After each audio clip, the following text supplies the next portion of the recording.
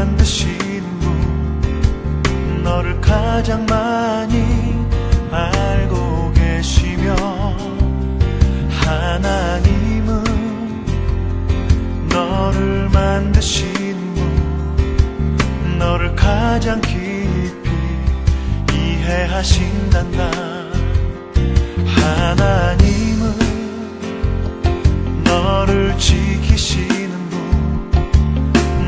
절대 포기하지